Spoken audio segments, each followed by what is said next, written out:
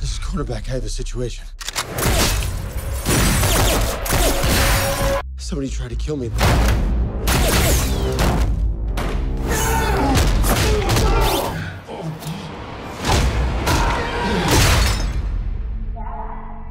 Jack? Jack, is work okay? Uh, yeah. You know, you sold this as an office job. Why don't you sit down? Now talk me through your very scary scenario. Keep in mind, I don't have your PhD. Tokyo, London, the United States. It's gonna be a wipeout. We'll never see it coming. You're not just an analyst anymore. You're operational now. Jack?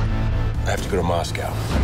Why don't you want me to come? Because I'm gonna be working the whole time. They play rough over there, Jack. Viktor Cherevin is unpredictable. You Americans like to think of yourselves as direct. Perhaps you are just rude. Perhaps you're just touchy. Jack, you got another problem.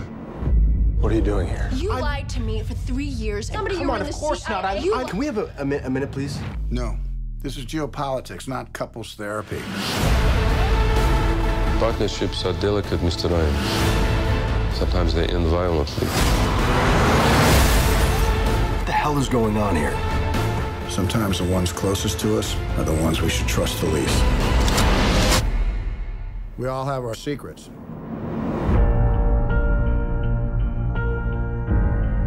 You think this is game, Jack?